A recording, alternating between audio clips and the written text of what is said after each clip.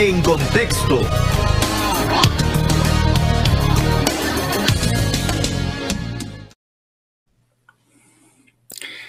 Y a nivel de noticias, ¿de qué está hablando el país y el mundo? Guillermo Flores nos informa. El Comité contra la Tortura y el Subcomité para la Prevención de la Tortura de las Naciones Unidas han decidido tomar medidas en común en respuesta a la negativa de la dictadura de Nicaragua a cooperar a la hora de abordar y prevenir la tortura en el país. Es la primera vez que los dos órganos adoptan una acción conjunta respecto de un Estado parte que no coopera, dijo el presidente del comité Claude Heller, añadiendo hemos decidido realizar una declaración conjunta y publicar el informe confidencial de la visita del subcomité en vista de la gravedad de la situación. La dictadura sandinista prohibió el ingreso a Nicaragua al periodista Luis Felipe Palacios, delegado de la agencia EFE en el país centroamericano, cuando se disponía a regresar de un viaje de trabajo, le compartimos que la solicitud de ingreso no ha sido autorizada por las autoridades de migración y extranjería de Nicaragua. No le será permitido embarcar, según el correo electrónico que remitió al delegado de EFE en Nicaragua, la aerolínea Avianca. El presidente de Costa Rica, Rodrigo Chávez, firmó dos decretos los cuales establecen una serie de restricciones para los solicitantes de refugio que busca frenar el ingreso de migrantes económicos, la mayoría procedentes de Nicaragua hacia Costa Rica, el primer decreto firmado modifica el reglamento de refugio sobre el otorgamiento de permisos laborales, el cual determina que no se otorgarán permisos laborales a las personas solicitantes de forma inmediata, sino que deberán cumplir con el procedimiento interno que establezca la institución y que se comunicará oportunamente. Además, los solicitantes de refugio no podrán salir de Costa Rica mientras esté el proceso de solicitud. La concejal designada para la alcaldía de Bocana de Paiguas, jurisdicción de la región autónoma de la costa Caribe Sur, Jorgenis María Zavallos Hernández, de 34 años, fue ultimada de un impacto de bala a manos de su pareja Arsenio José Hurtado, de 57 años. El cuerpo sin vida de la concejal sandinista fue encontrado por un poblador a eso de las 11 de la noche del martes en la carretera que conduce a Bocana de Paiguas, confirmó una fuente policial. Y en el ámbito internacional, el dictador venezolano Nicolás Maduro aseguró este miércoles que el país tiene entre 24 mil y 30 mil millones de dólares bloqueados en el exterior. Se trata de dinero congelado, bloqueado y secuestrado, dijo Maduro en una rueda de prensa con medios locales e internacionales en el Palacio Presidencial de Caracas.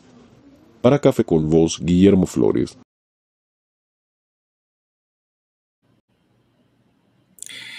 Gracias, Guillermo, por tu eh, informe de este miércoles. Fíjense ustedes, este criminal mostrenco Maduro, de acuerdo a la información que ha publicado Reuters hace eh, unas horas atrás, dice que todavía, todavía, o sea, es que la, que cara de tubo que tiene este tipo es impresionante, ¿no?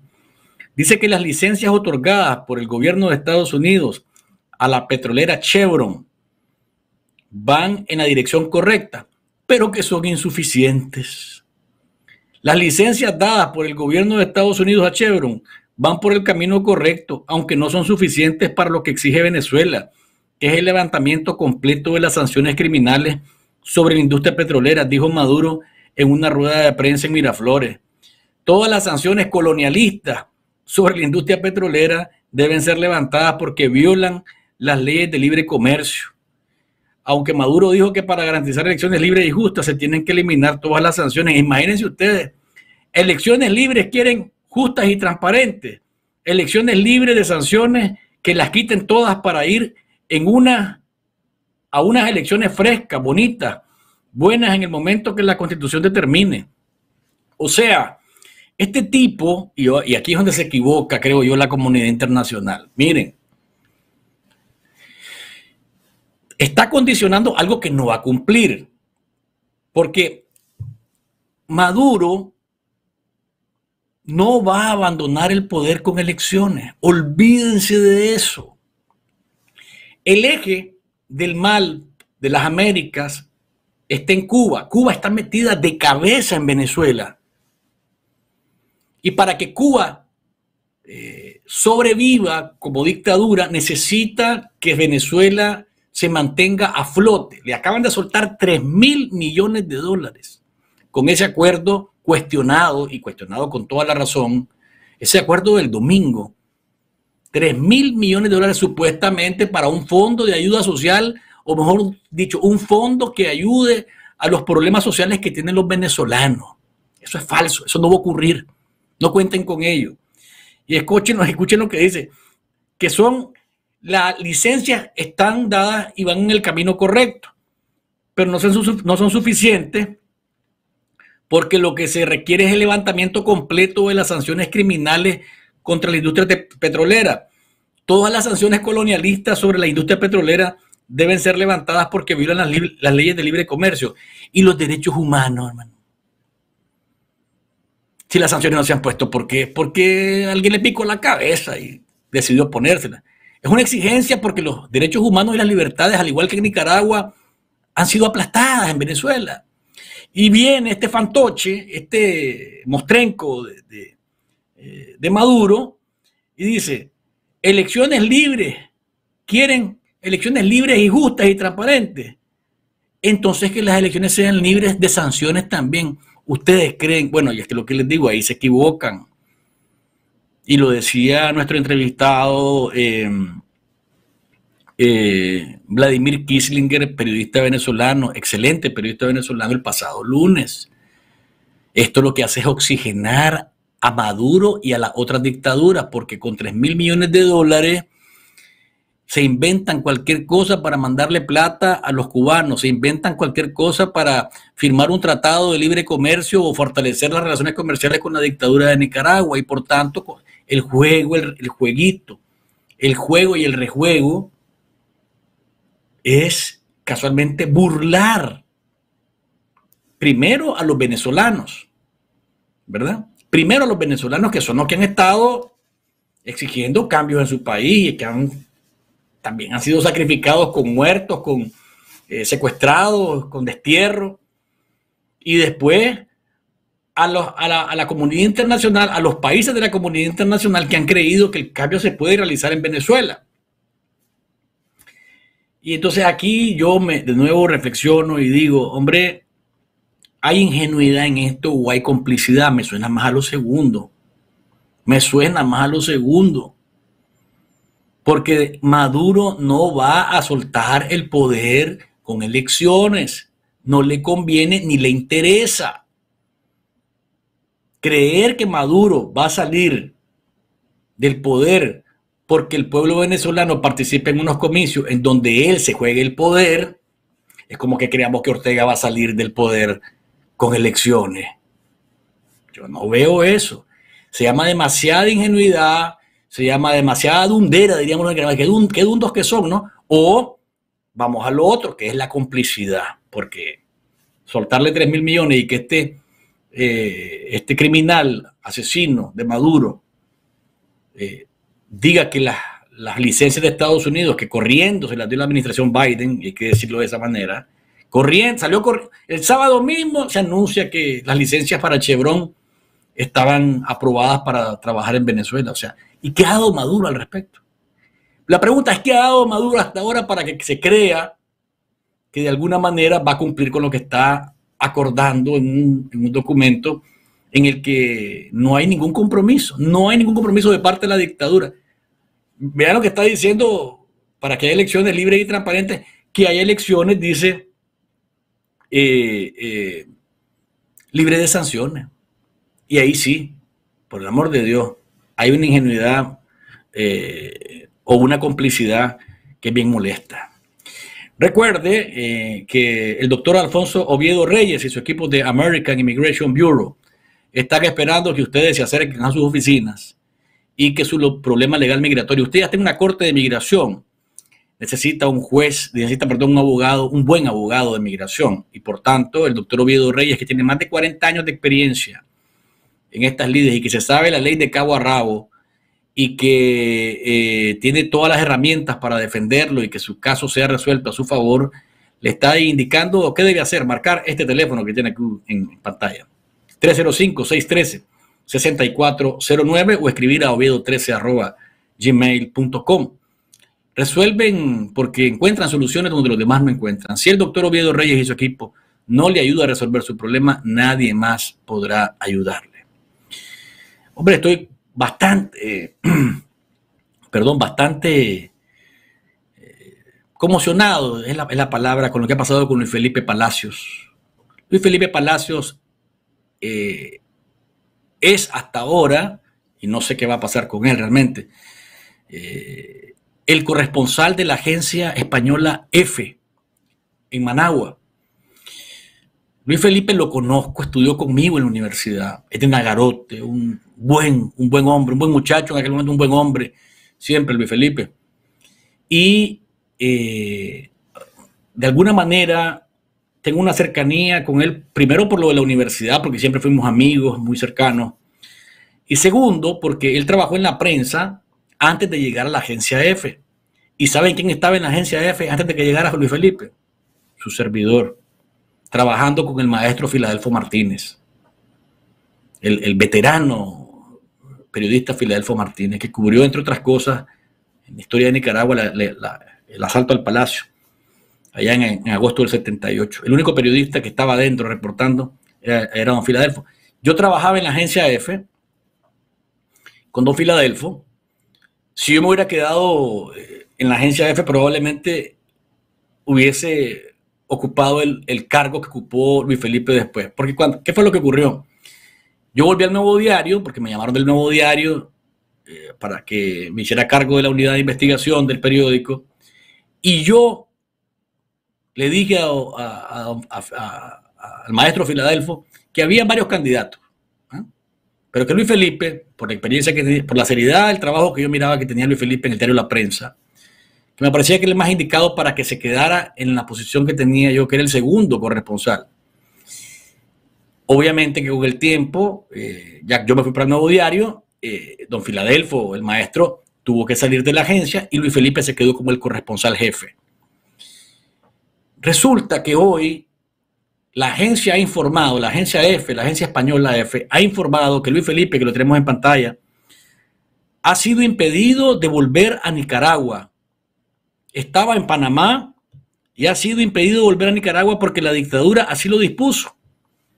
Como ha ocurrido eh, con sacerdotes, como ha ocurrido con otros periodistas nicaragüenses, como ha ocurrido con activistas de derechos humanos, Luis Felipe Palacios, de 44 años, un gran periodista nicaragüense, ha sido impedido de volver a nuestro país porque la dictadura así lo dispuso. Estaba en Panamá Luis Felipe en el 50 aniversario de la agencia F, que antes era ACAN F, Agencia Centroamericana de Noticias, y que ahora es la agencia F nada más. Luis Felipe estaba en el 50 aniversario de eh, la agencia en Panamá, que es la sede de Centroamérica, para Centroamérica en Panamá queda, yo conozco esa agencia porque estuve en Panamá también. Y cuando se disponía a volver a Nicaragua el 21 de noviembre, las eh, aerolíneas que se han convertido en las voceras, ¿verdad?, de, la, dictadura, eh, le indicaron que el correo que habían recibido de parte de gobernación y de migración de la dictadura de Ortega es que no podía volver a Nicaragua. Imagínense ustedes. ¿Qué significa esto? Es al menos el primer caso público, público, en el que un periodista de una agencia internacional de noticias nicaragüense, o sea, que hace el trabajo de corresponsal de una agencia de noticias española, puede ser la agencia que yo trabajé también para de, Associated Press, que es AP, eh, Reuters, eh, Univision, CNN, eh, AFP. Es la primera vez que un periodista que es corresponsal es agredido directamente por la dictadura de esta forma. He conocido en las últimas horas, después de que se informó eh, de lo de Luis Felipe, he conocido en las últimas horas que no es el único que ha sido eh, agredido de esta forma Porque, por ejemplo, hay otros periodistas que trabajan para agencias internacionales que se les venció el pasaporte y que no se lo renovaron. Que no se lo renovaron para viajar fuera del país. Es decir, tienen el país por cárcel. Periodistas que trabajan para agencias internacionales. Me reservo el nombre de ellos porque no quiero meterlos en problemas. Son mis colegas, los quiero mucho y no quiero meterlos en problemas porque si han guardado silencio sobre esto es porque han considerado que es mejor para ellos y para sus familias. Pero el caso de Luis Felipe no es el único, es el que hemos conocido porque la agencia F eh, eh, lo ha dado a conocer eh, hace unas horas. Pero no es el único, Luis Felipe, amigos y amigas, no es el único. Y esta es una señal inequívoca para el resto de corresponsales que todavía hay en Nicaragua de que mejor se vayan con cuidado al hacer sus reportes y decirle la verdad al mundo de lo que pasa en Nicaragua. El resto de trabajadores de la agencia F están fuera de Nicaragua ya. Lo han sacado para evitar que vengan represalias directas en contra de ellos. Es decir, que si alguien va a la agencia F hoy o mañana, en la oficina no hay nadie. Porque la dictadura detesta que haya periodistas diciendo la verdad. Y yo le mando un abrazo y mi cariño enorme a, Luis Felipe, mi amigo, mi colega, que sufre en este momento lo que nos ha pasado a tantos, la imposibilidad de volver la imposibilidad de retornar. Es algo muy doloroso, duele muchísimo porque eh, uno se lo... Bueno, yo, me imagino a Luis Felipe que se mentalizó para esto, pero una cosa es mentalizarse. Y otra cosa es que te ocurra. Otra cosa es que te ocurra, es muy distinto. ¿Y, cómo, ¿Y qué dijo Luis Felipe? Yo traté de hablar con él más temprano, pero supongo eh, que está un tanto indispuesto, no debe ser fácil. Yo recuerdo cuando, cuando salimos de Nicaragua y, me llamaban y me llamaban por teléfono para entrevistarme, eh, tanto colegas de Nicaragua como colegas de, de agencias internacionales. Y es tan difícil referirse a esa realidad que te está tocando vivir que yo entiendo, Luis Felipe, porque lo llamé un par de veces, le mandé un mensaje, lo vio y me dijo, saludos hermano, luego hablamos. Ahí nos quedamos, ahí nos quedamos. Pero sí, sí, sí se manifestó, sí escribió en su Facebook lo que está sintiendo y son palabras eh, que, duelen. Vean ustedes lo que Luis Felipe compartió en su página de Facebook. Hasta pronto, mi Nicaragua. Hasta pronto, familia. Hasta pronto, familia de F en Managua. Hasta pronto, valientes colegas nicaragüenses. Hasta pronto, amigos. Hasta pronto, familia del baloncesto de Nagarote. Primero Dios regresaré. Lo llevo en mi corazón. Te lo juro, Luis Felipe, como te puse en el Facebook.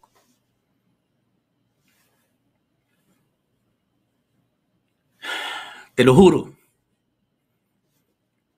Nos vamos a ver en Nicaragua libre. Esto va a pasar. Y perdónenme el, el momento, pero yo quiero mucho a Luis Felipe. Y quiero a tantos colegas que se han ido. A todos les juro, vamos a volver a Nicaragua libre. Y ahí vamos a informar. Y vamos a contar la historia desde Nicaragua, no fuera. Ánimo, Luis Felipe. Porque me imagino a tu familia, me imagino a tu familia tocada con esto, como la de todos los colegas, cuando tenemos que irnos.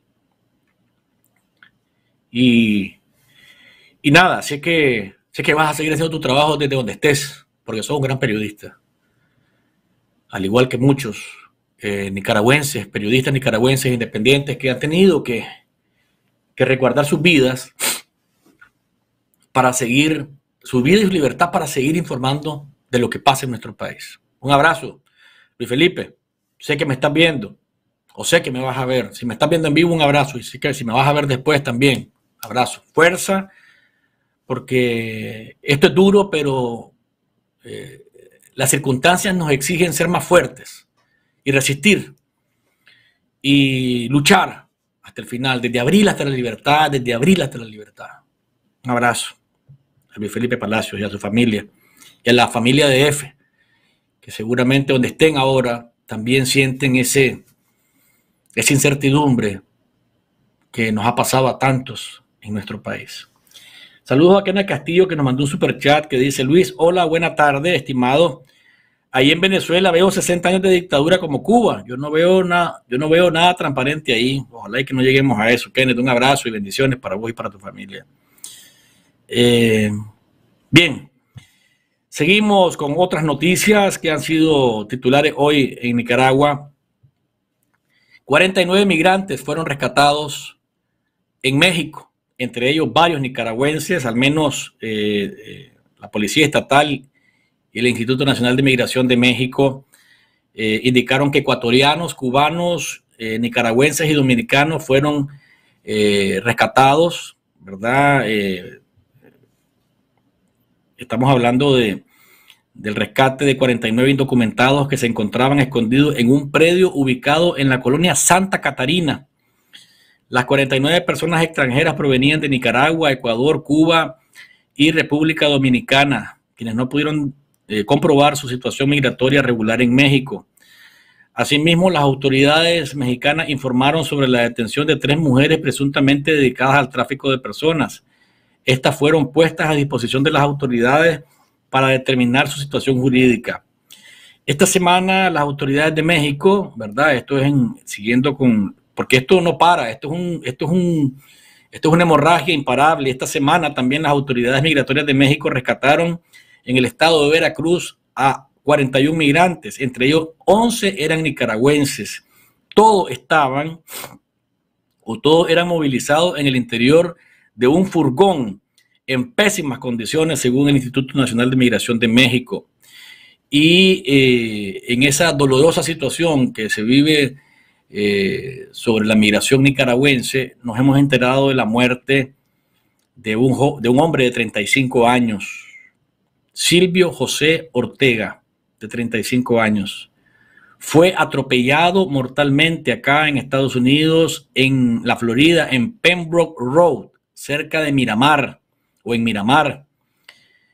Esto fue el 27 de noviembre a las 2 y 15 de la madrugada cuando intentaba cruzar la calle. Su hermana Suyen Ortega Martínez eh, dijo que la víctima fue atropellado y quien lo atropelló se dio a la fuga.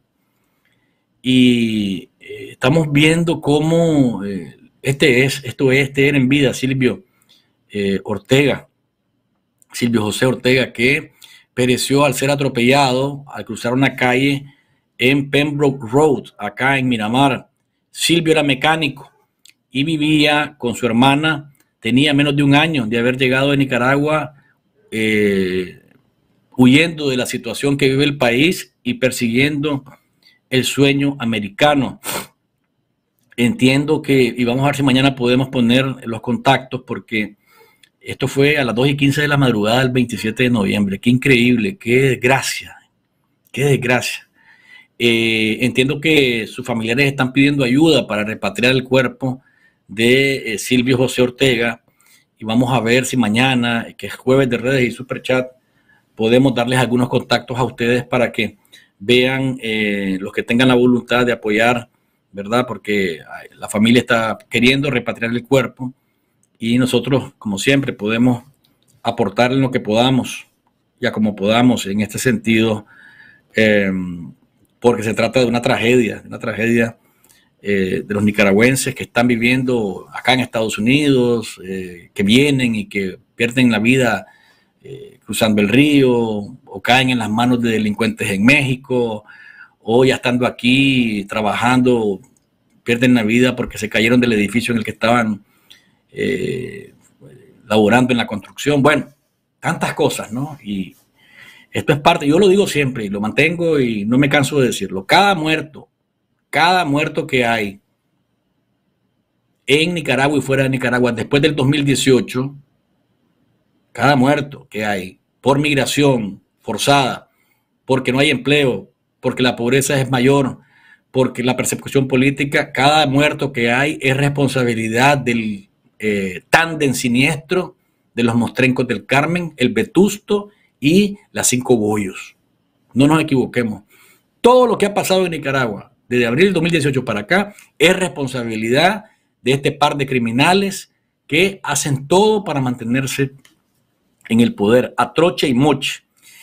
Y hablando de migrantes siempre, em, eh, hoy se conoció de las nuevas disposiciones migratorias que Rodrigo Chávez ha ordenado en Costa Rica. El gobierno firmó decretos con nuevas disposiciones migratorias. El primer decreto modifica el reglamento de refugio sobre otorgamiento de permisos laborales. Y el segundo documento corresponde a la categoría especial temporal para personas nacionales de Cuba, Nicaragua y Venezuela con el fin de liberar el sistema de refugio. Vamos a leer la parte toral de los documentos, del documento y que lo van a ver ustedes en pantalla. Lo que está en amarillo dice, el primer decreto es una reforma al reglamento de refugio, el cual determina que no se otorgarán permisos laborales a las personas solicitantes de forma inmediata, sino que deberán cumplir con el procedimiento interno que establezca la institución y que se comunicará oportunamente. A quienes se les fueron otorgados los permisos se les renovará solamente si la persona cuenta con la inscripción en la Caja Costarricense del Seguro Social. De igual manera, toda nueva solicitud de protección internacional deberá ser presentada dentro de un mes natural a partir del día de su ingreso al país sin necesidad de solicitar cita. Deberá presentarse personalmente y para ello la persona debe venir de su país de origen directamente. En caso de no ser así, deberá justificar las razones por las cuales no solicitó la protección en el país en el que se encontraba. Esto directamente con los venezolanos, porque los venezolanos para llegar a Costa Rica tienen que pasar por Panamá, por ejemplo. Sigue el documento indicando lo siguiente. Asimismo, las personas solicitantes de refugio ya no podrán salir de Costa Rica por ningún motivo, mientras su solicitud se encuentra en trámite. De hacerlo, se entenderá como un abandono del proceso y se archivará en forma definitiva. El segundo documento corresponde a la categoría especial temporal para personas nacionales de Cuba, Nicaragua y Venezuela, la cual entraría a regir el primero de marzo del 2023. La misma se realiza con el fin de liberar el sistema de refugio el cual ha sufrido un uso abusivo de la figura que afecta negativamente a las personas solicitantes de refugio que verdaderamente son meritorias de la protección internacional y que deben esperar por meses e incluso por años para contar con una resolución sobre su estatus de persona refugiada. A la fecha, la Dirección General de Migración ha recibido 222.056 solicitudes de refugio desde el 2018. De estas, 172.689 se encuentran aún eh, pendientes de resolver. Igualmente, la institución ha detectado que entre un 80% a un 90% de las personas que solicitan refugio no califican dentro de la definición de esta protección internacional, incluyendo migrantes económicos que llevan años viviendo en el país y nunca se han regularizado. Ay, ay, ay. Yo creo que a partir de esta disposición la situación se va a ir complicando más a nuestros connacionales en Costa Rica.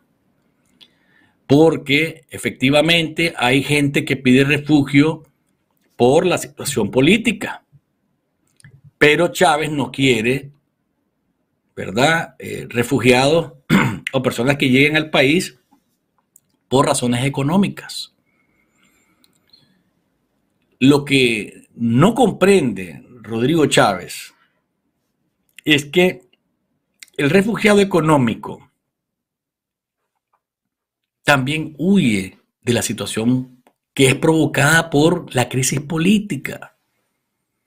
O sea, un nicaragüense que decide que no puede estar más en Nicaragua porque no tiene trabajo, porque la empresa, que la empresa en la que trabajaba cerró por la crisis o porque era un trabajador del Estado y decidió renunciar o lo renunciaron y de pronto le dan el chance de, de poder irse y buscar vida en otro lado, ese no se puede calificar como un, como un refugiado estrictamente económico.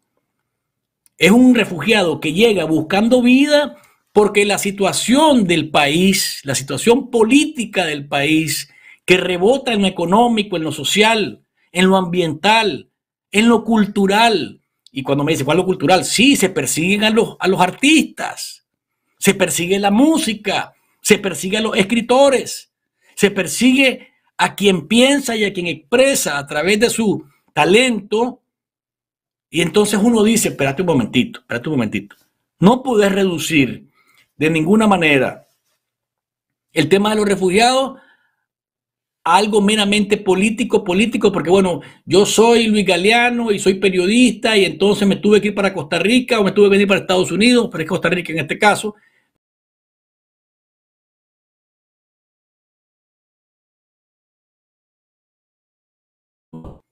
Eh, algunos nicaragüenses que no son periodistas, que no son activistas, que no son defensores de derechos humanos, que no son analistas ni son gente que genera opinión, pero que se tuvo que ir porque a lo mejor participó en una marcha, lo detectaron en el Estado, lo corrieron y se quedó sin trabajo, está viviendo pobreza, está viviendo dificultades y tiene que buscar trabajo en otro lado. Pero su problema se origina en la falta de empleo. Más allá de que si lo despidieron del Estado, o de una empresa privada, si te quedaste sin trabajo por cualquier razón, la crisis que vive el país, la política, no te permite conseguir trabajo. Y por tanto, tenés que buscar vida en otro lado. Y no necesariamente tenés que ser un perseguido político. Es eso lo que no entiende el señor Chávez.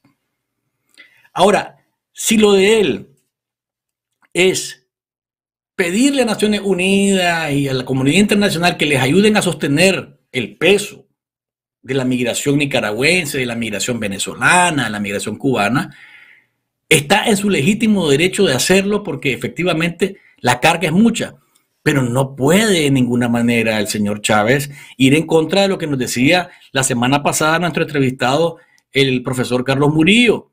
No puede ir en contra de la política de lo que ha sido eh, Costa Rica en relación a los migrantes. No está en, en la tradición costarricense ponerle un cortapisas o una barrera o un muro,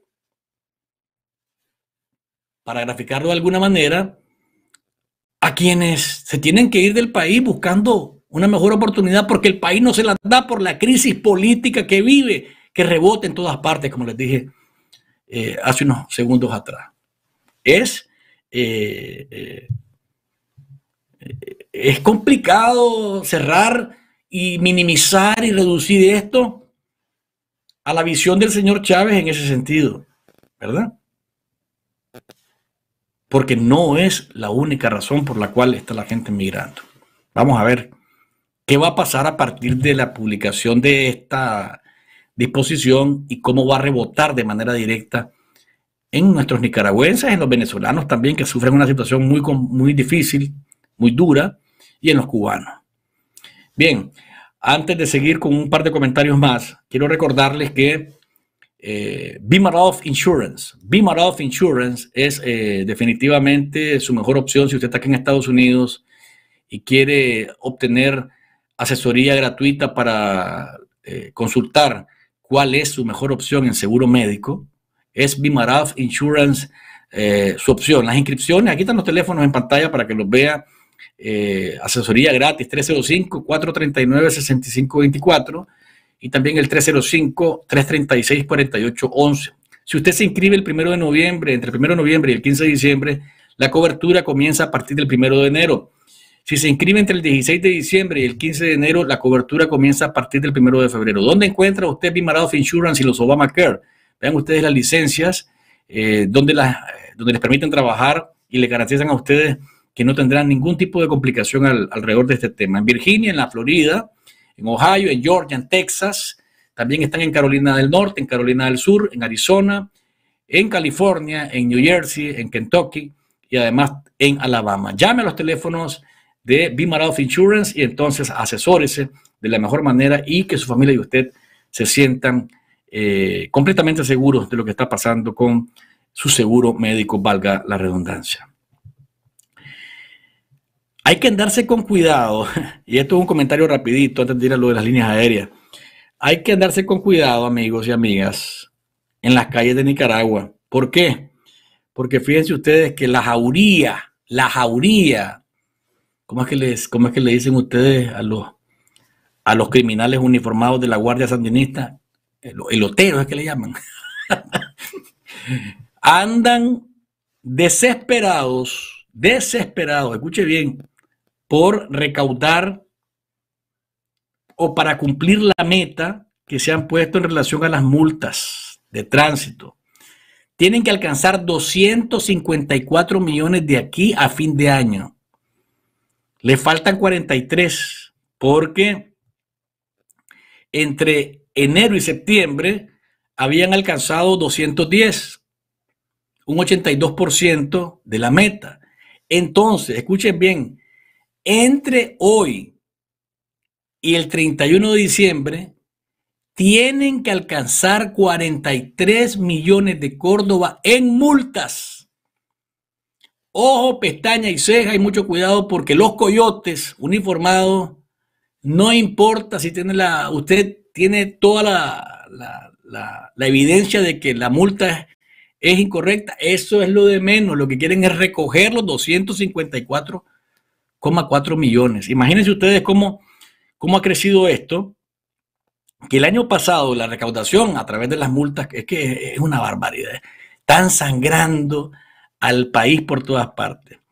El año pasado se recogieron en multas 194,8 millones de córdobas o mejor dicho, entre septiembre y enero, entre enero y septiembre del año pasado, el mismo periodo, pues comparándolo, comparando el mismo periodo, entre enero y septiembre, el año pasado se habían recaudado a, estas, a las alturas de septiembre 194.83 millones.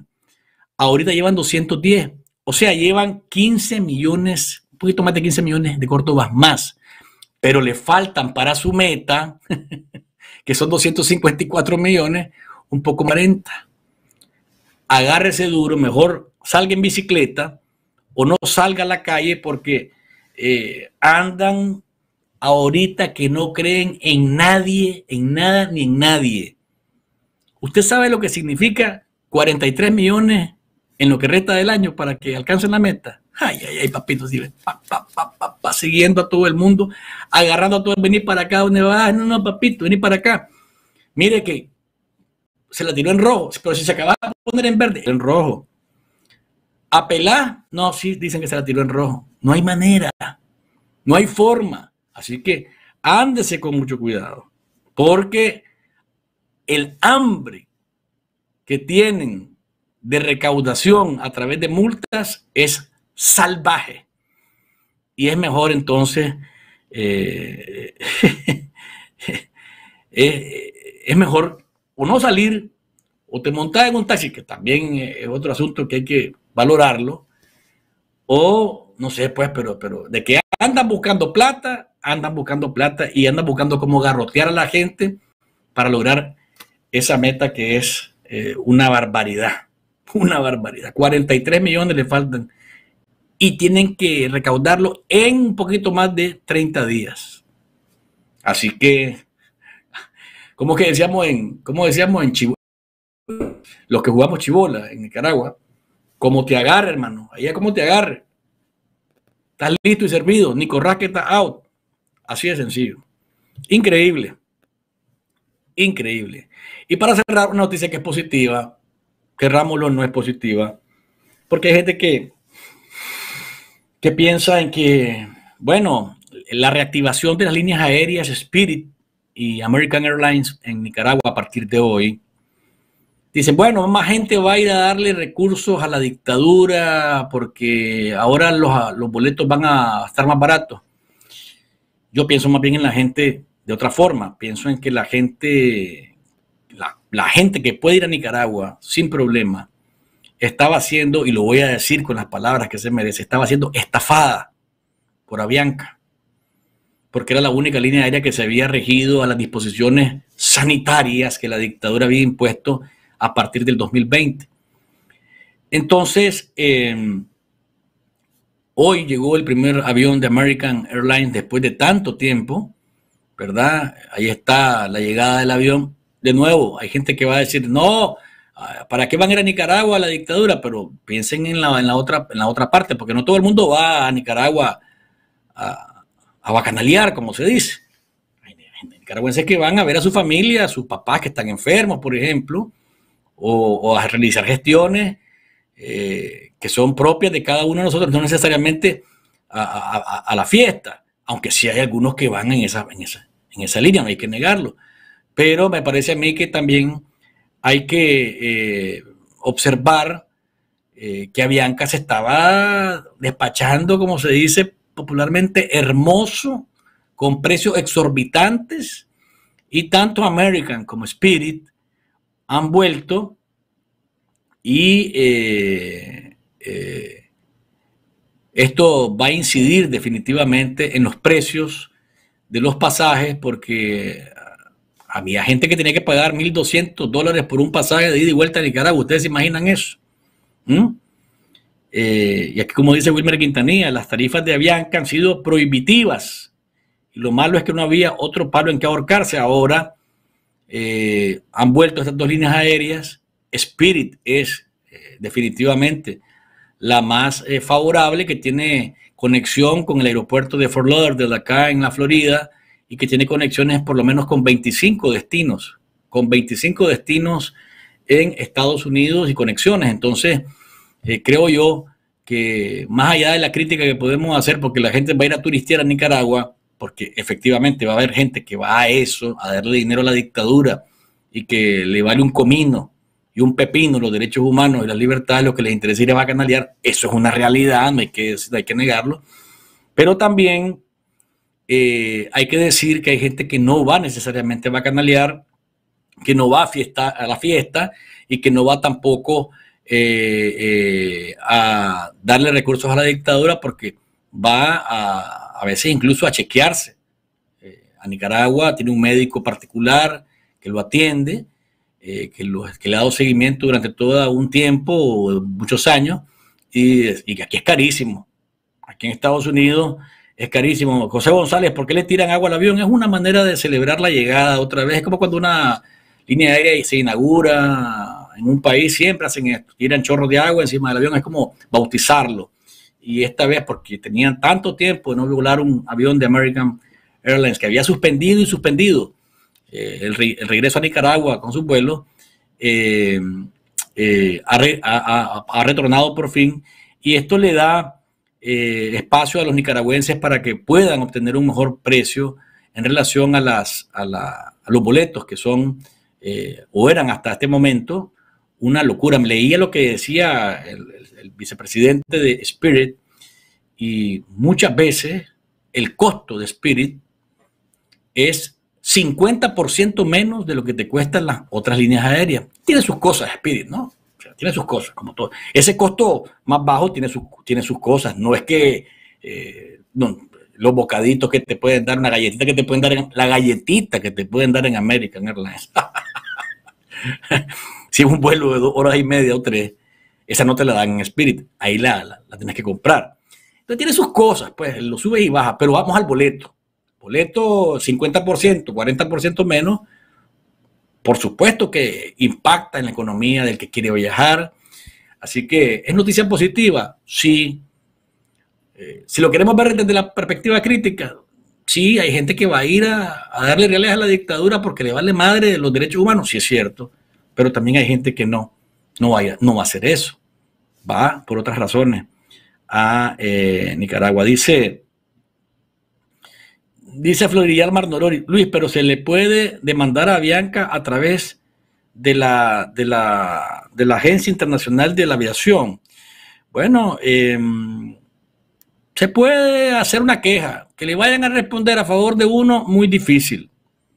Estos cárteles son cárteles también, no nos olvidemos, que igual que el cártel de, los, que manejan el petróleo, así son porque se defienden entre ellos. defienden entre, es muy difícil encontrar, ya lo hubiesen, a ver, el hecho de que Avianca fuera la única línea aérea que estaba, viajando para Nicaragua, no le permitía ni le daba permiso para hacer eh, una empresa leonina en relación a, los a, la tarifa de los boletos.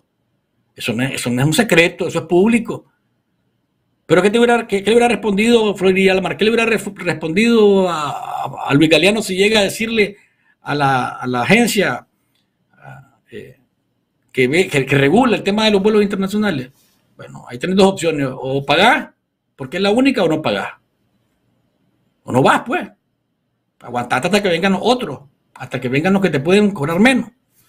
Esa es una realidad. Pero bueno, es lo que está pasando hasta ahora y nosotros nos sentimos definitivamente complacidos con que haya una, una, una mejor opción para quienes quieren viajar de Estados Unidos a Nicaragua y hay que verlo desde esa, esa perspectiva. Martín Rocha nos mandó un super chat, gracias a Martín, bendiciones para vos y para tu familia eh, y gracias por confiar en nosotros.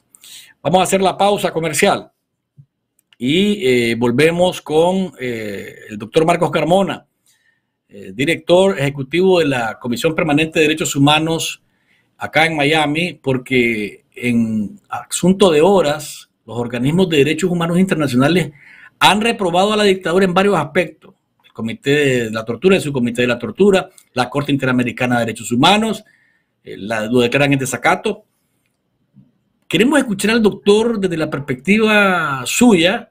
¿Qué significa esto? Porque muchos de nosotros pensamos, sí, una vez más hay otro documento, y lo, comentaba yo ayer, otro documento, pero eso le vale un pepino a Ortega que saquen este documento, otro y otro. Vamos a escuchar al doctor Carmona después de la pausa comercial. Les invitamos a que se queden eh, con nosotros y que sigan dándole me gusta al programa. Denle me gusta a Café con Vos y recuerden que son 1500 y más cada me gusta de ustedes, cada me gusta de ustedes es muy valioso porque nos ubica dentro de los más vistos, más gustados en redes sociales y plataformas eh, digitales. Y cuando alguien quiere saber de Nicaragua en el YouTube, entonces Café con Vos es una de las opciones primeras que le sale a quien quiere enterarse de lo que pasa en nuestra querida y sufrida eh, Nicaragua. Su sonrisa es muy importante y usted debe cuidarla en Sweetwater Dental Clinic. Sweetwater Dental Clinic está en la 10500 West Flagler. Marca el 305-223-7766 para que haga su cita. El doctor Maxwell Cárdenas y su equipo están ahí para garantizarle una sonrisa plena y orgullosa. Endodoncias, extracción de piezas con o sin porcelana, apiñamiento de dientes, eh, separación de dientes. Quiere tener sus dientes tan blancos como un coco por dentro. Ay, ay, ay. Entonces tiene que atenderlos en Sweetwater Dental Clinic. Vamos a la pausa comercial y ya regresamos con nuestro invitado, el doctor Marcos Carmona. Nicaragüense, el destierro o exilio no es renunciar a los derechos humanos y su reclamo no tiene fronteras. Es un derecho universal. Tenés derecho a un alojamiento digno, a no ser incomunicado, a no ser detenido cerca o dentro de los albergues, a comparecer ante un juez de migración, a comunicarte con tu familia en el país. En España, busca ayuda u orientación con ACNUR, Agencia de la ONU para los Refugiados, Fundación Nicaraguans for Justice, Security and SOS España. Nicaragüense. Cada país tiene sus normas y leyes y mientras las respetes, sin importar tu condición migratoria y por el simple hecho de ser persona, gozas de derechos humanos que nadie debe ignorar. Hola amigo, ¿quieres estar informado? Suscríbete al canal de Café con Voz Nicaragua y toca la campanita, denle like a todos sus programas y recuerden que no hay mañana sin café.